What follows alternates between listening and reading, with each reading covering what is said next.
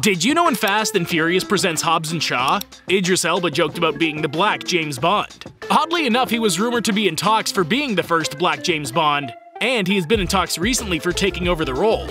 Instead, he changed it to being the black Superman, and he even used the title in one of the songs that he raps in.